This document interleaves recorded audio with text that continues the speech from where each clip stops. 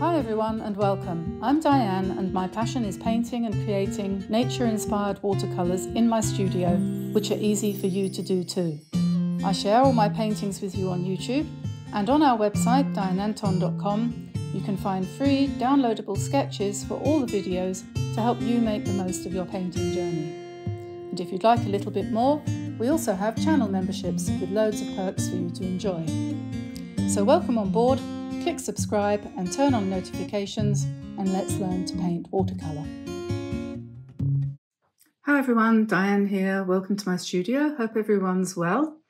Today I'm going to share with you my first exploration of this amazing stuff called Brusho, which I haven't yet used, so um, we're going to explore this together.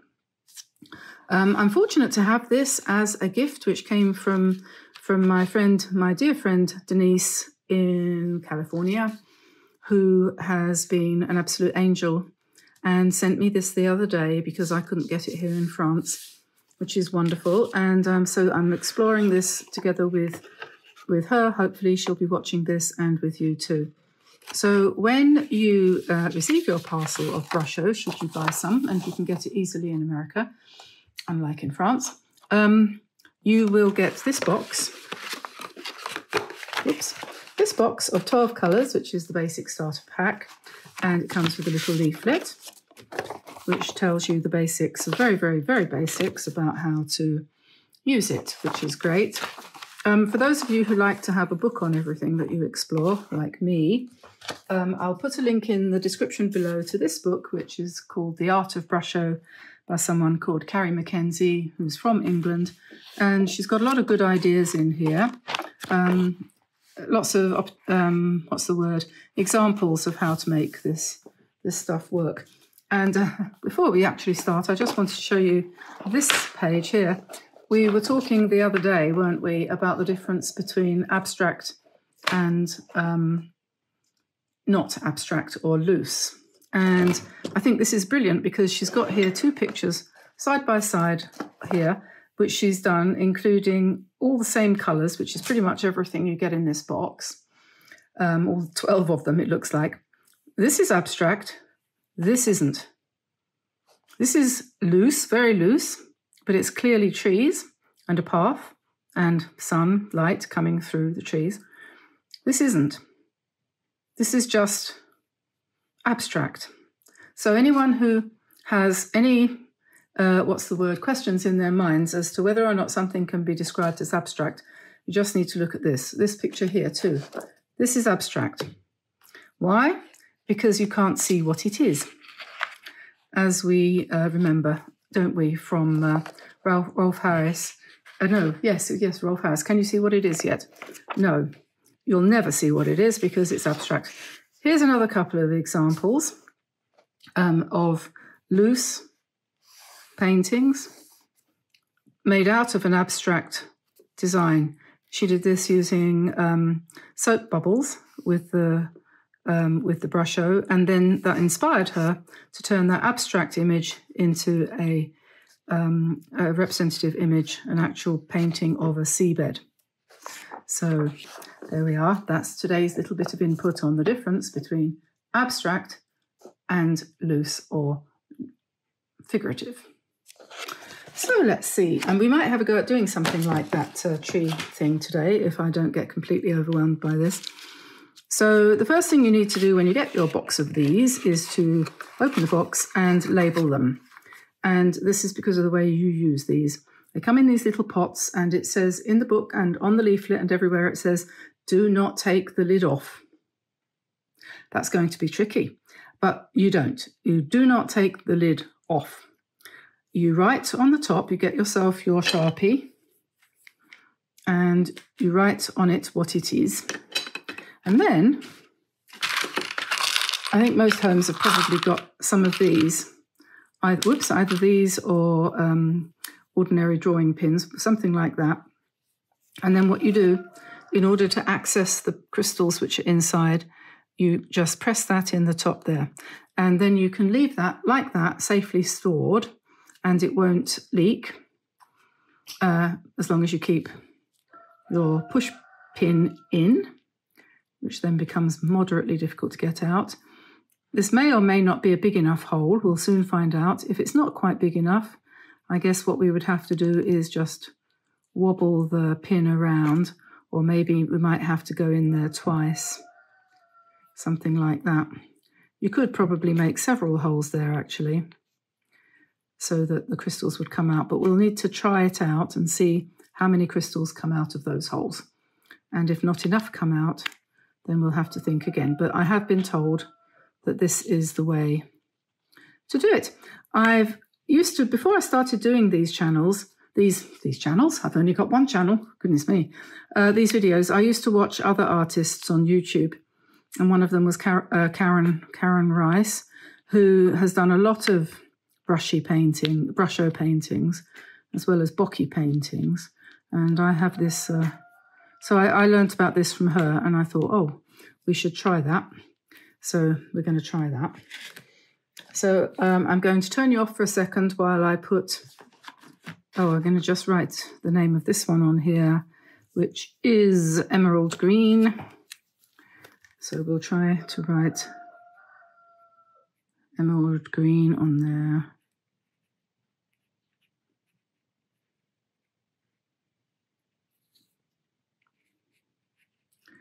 And then I will, uh, well, maybe I don't need to turn you off. Perhaps I'll just puncture the rest of them. But um, yeah, I think I, I won't waste your time. I'm going to put pins in the rest of them and then I'll come back when that's all done. Okay, so now I have made a hole in the top of each of these. In fact, I've made three holes and I've discovered already that some of the pigments, the crystals are larger and, and sometimes they're smaller. So sometimes they come out more easily than others. So there's going to be a certain amount of random behavior here. Um, but I want to just do a swatch of the 12 different colors so that I can tell in future sort of roughly what color they all are. So instead of swatching out with a brush, we're going to swatch out with a, a little spray bottle and I'm going to put uh, three rows of four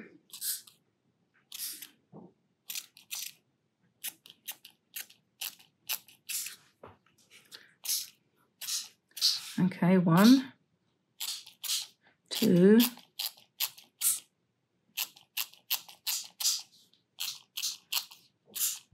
three. So we've got 12 spaces now. And so I'm going to go through them, starting, let's say, with lemon yellow. And we will get a, there's obviously a mixture of colours in there because Orange is coming out as well as yellow, but you can see that's lemon yellow. And then we've got uh, bright yellow. That one, I think I'm going to make a bigger hole because that obviously doesn't come out as easily as the lemon. So I'm going to just enlarge that hole a bit, or those holes. You can still use the stopper as a stopper. Okay, so that's that one. And then the next colour would be orange.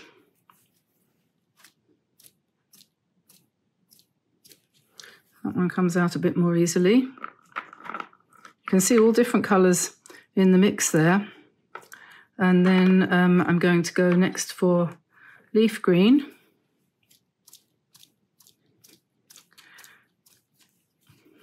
And you can see that's a blend. There's green in there, there's also yellow and orange. And if you stir it up a bit, it becomes more green. The same as this one will become more orange if you stir it up. I don't want to do that too much. So that's leaf green. Then we've got turquoise. Oh, we've got one that really doesn't want to come out.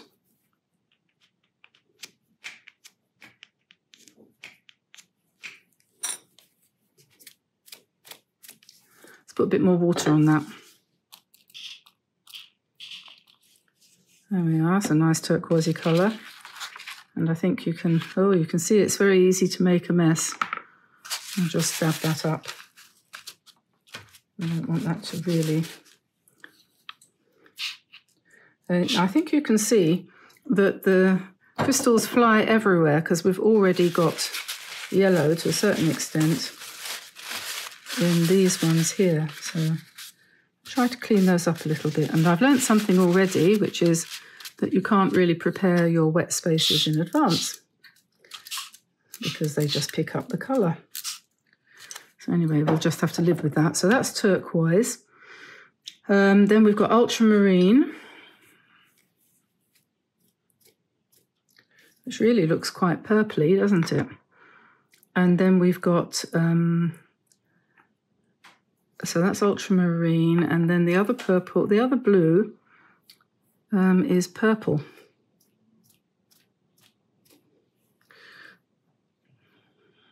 So I'm just going to mix that together a little bit. So to get a proper ultramarine, you have to sort of blend them together. So you get blue. Hmm. Interesting. Uh, so ultramarine, purple, emerald green we've done. After purple, we will have, uh, hang on, I've missed one out. We've got lemon, yellow, orange, leaf green, tur uh, turquoise, ultramarine, purple. Oh, I missed that emerald green. Okay, we'll put emerald green there. Least we'll try.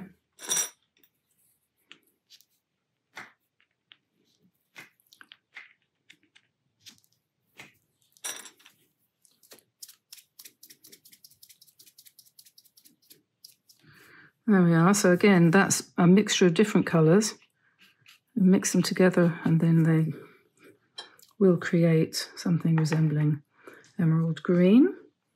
Then we are going to go with scarlet down here. And then the next one is there's red somewhere. Where's red gone? Ah, there. Right, red. It's also a mixture of colours.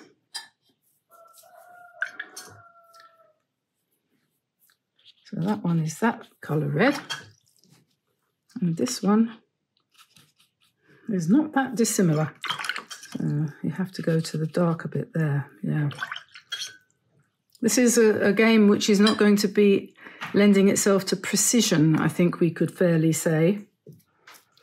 This is already making me think this is the best way to paint an abstract painting that I can think of.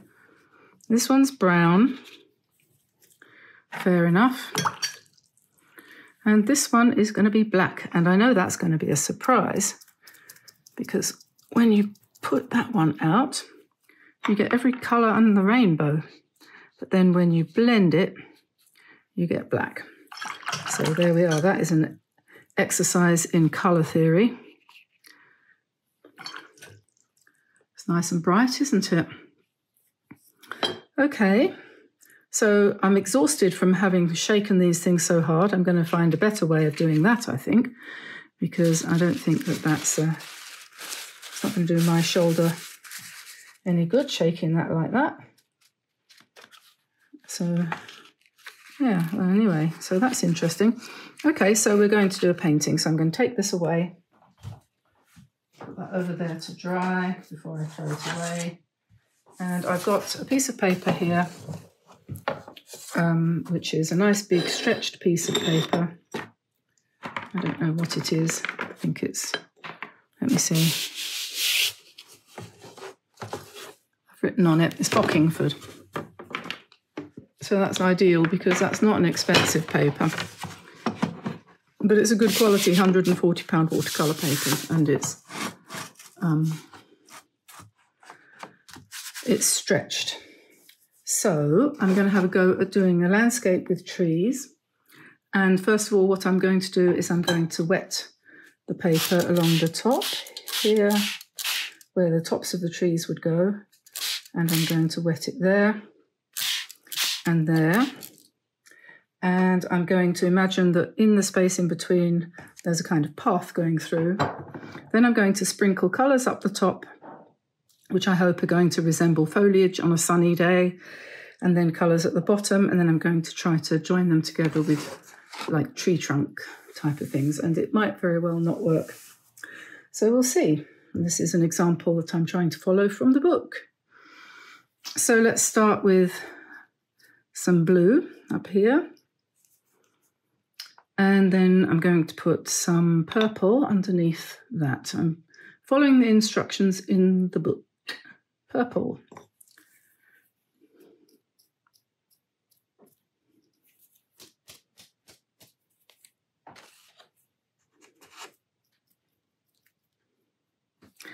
And then we'll go to green. Emerald green, maybe? I wonder whether it would work if I tapped it. Turn it upside down and... No, I think the best thing we can do is probably make the holes bigger. I'll tell you what, maybe... Oh, no, I'm not going to risk it. I'm not going to risk doing it with a knife in case everything goes bonkers. Just make more holes.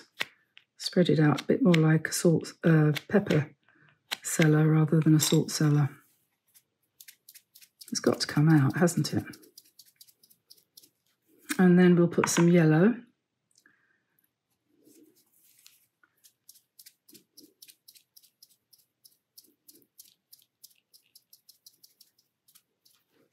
Some yellow for the sunshine, and then we go back to the green. Um, leaf green, let's try leaf green.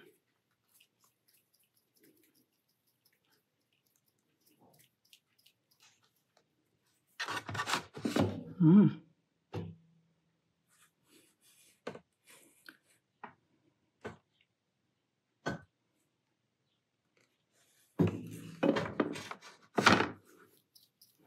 That looks like it could do with a bit more water there.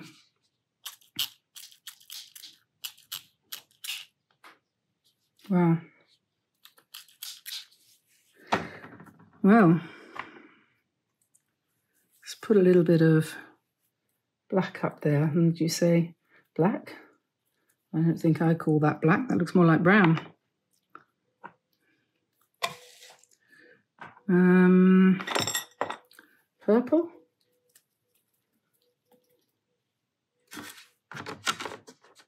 Good Lord, look at that.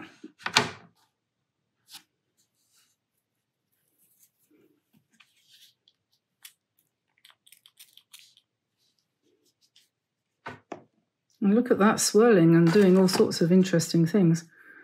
Hmm.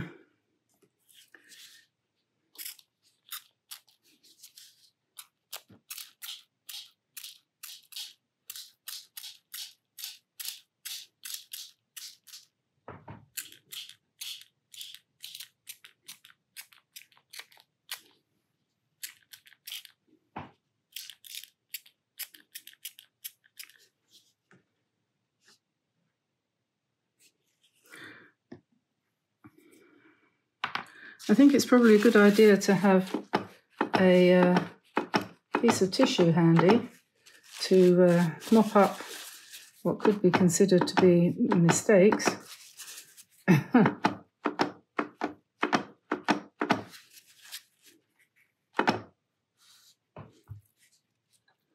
Let's put some red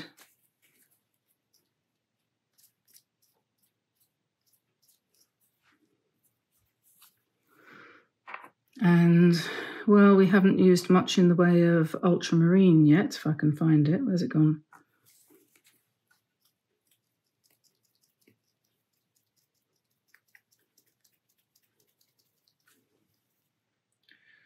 My goodness. Well,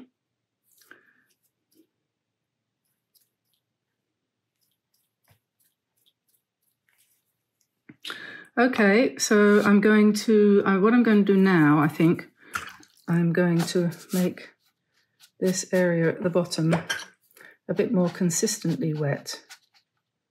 So you can see my plan is to have, wow, this is very bright, isn't it? plan anyway is to have a path going down the middle and then colors on both sides. so let's go with the darker colors. Let's go with, well, first of all, perhaps a bit of green at the back, which looks like yellow. This is obviously something that you need to practice, she said.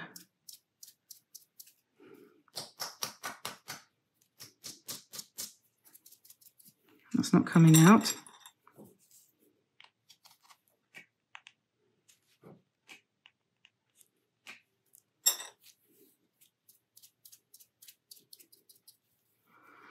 I don't like that one. Purple. Purple, purple, purple. Where's purple gone? There it is.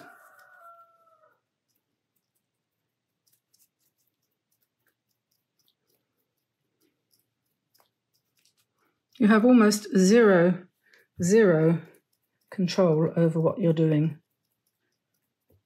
Like practically zero.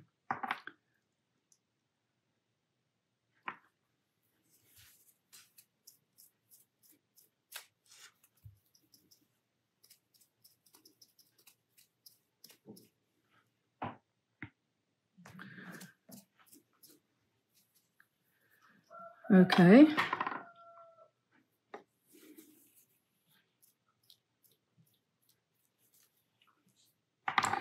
So let's see what happens if we start to drag down some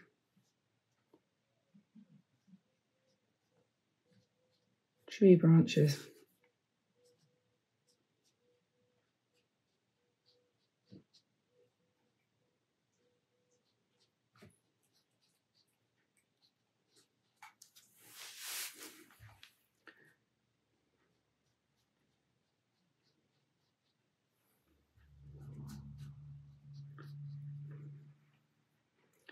You could call it a fantasy forest.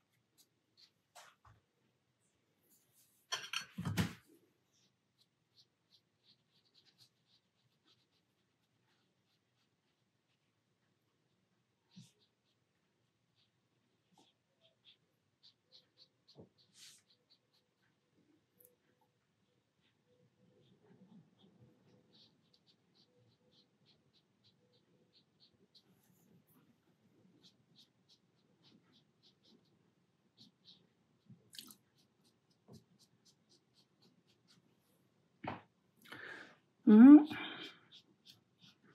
it's interesting.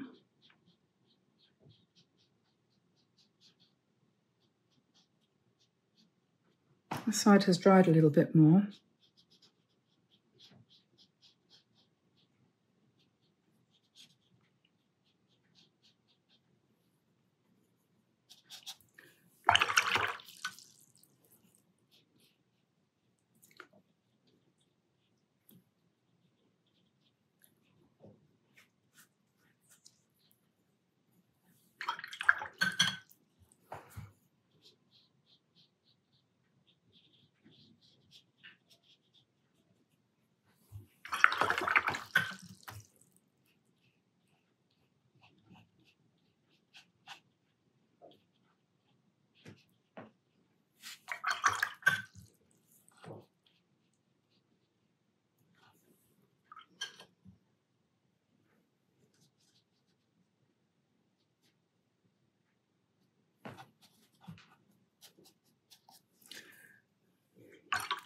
Yes, I know I've gone a bit quiet.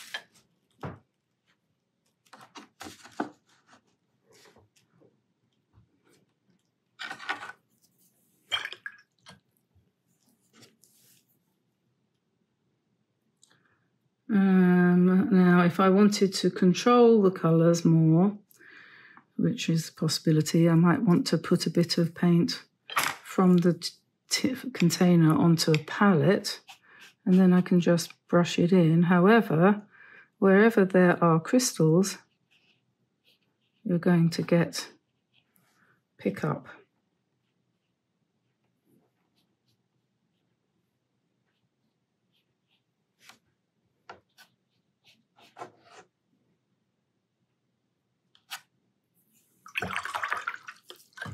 And I don't know whether any of these colours will lift because I suspect that they might be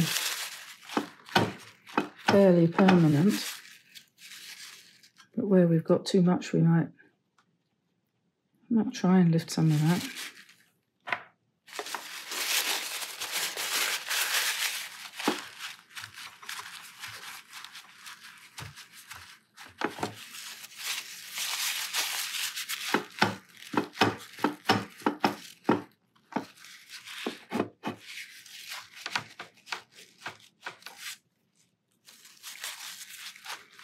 Hmm, well, not sure what I think of that.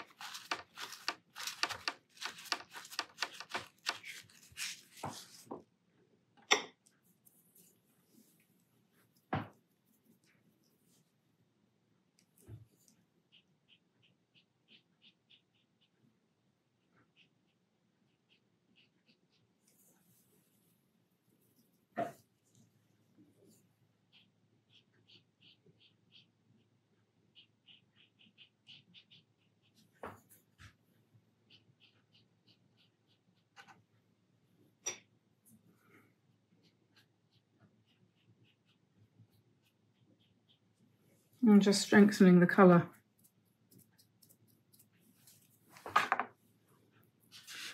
of the trees. You can get a really dark brown.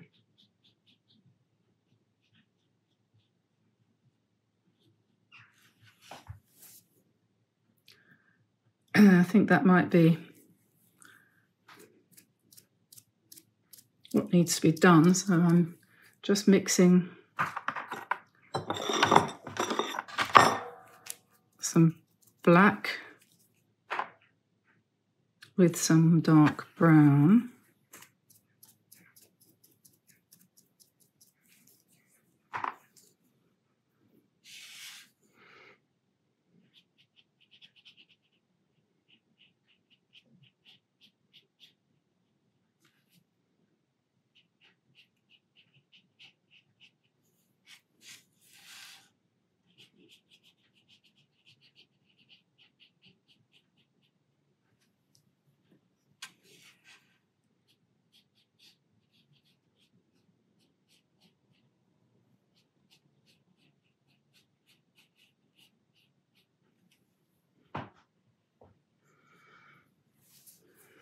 And then we probably need some some dark over here as well.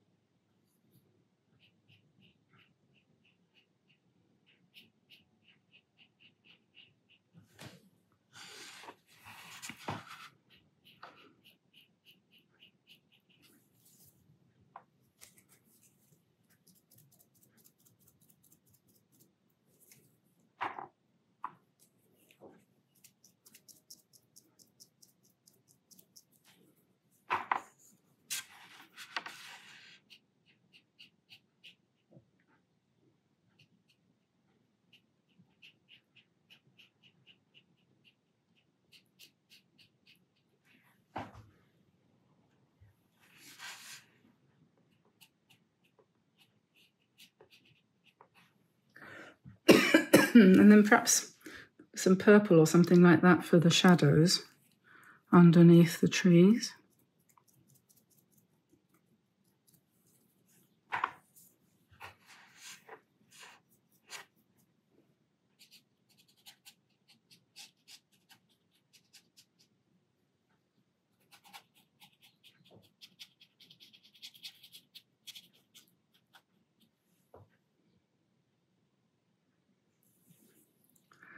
And then I don't know. Um,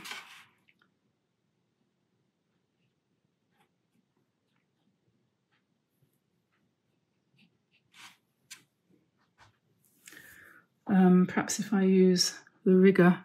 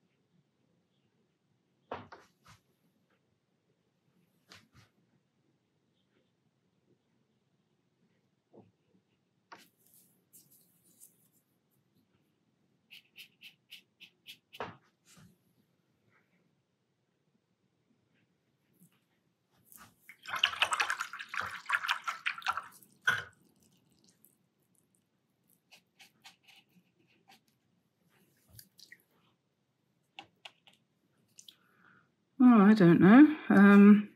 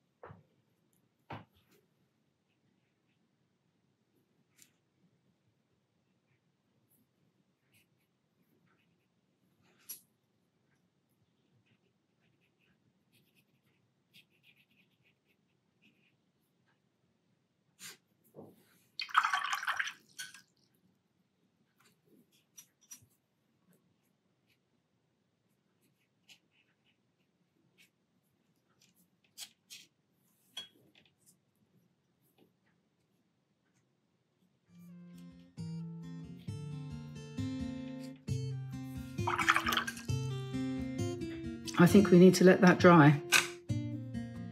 So there's the final painting. Now it's dry. I've added a few distant uh, trees in there just at the last minute to give it a little bit more perspective. Um, Brusho, a great opportunity for being very adventurous in your painting, trying something completely new, liberating yourself, and maybe veering off towards the abstract. This is obviously not abstract, but it is on the tendency towards being that way inclined. Um, so, anyway, if this is your first time visiting the channel and you're not yet subscribed, please give us a like and subscribe. Turn on notifications, click the bell so that you get to hear when something new has gone up. And don't forget, um, we have a YouTube membership scheme going, so you can join for $2.99 a week. Um, sorry, $2.99 a month. Um, you get various different perks, or you can go to a $4.99 or $8.99 level if you want for more freebies and so on and so forth. So that's something you can definitely do if you want. Um, also, we have a website where all of our videos have got free sketches to download. You don't have to pay for them at all, just pop on over there, download whatever you want, follow the instructions, and it will be very simple. Plus, we have a few things for sale here in the YouTube shop. We've got some mugs with designs of mine on them, and um, yeah, just have a, an explore. So, thank you very much indeed for being here with me today. I hope you enjoyed this exploration. Uh, I'm not sure I did, but anyway, we'll be exploring this again at some point in the future. So, I'll let you go now. Have a lovely afternoon, evening, or morning, wherever you are, and uh, I'll see you again soon. Bye, everybody. Bye bye.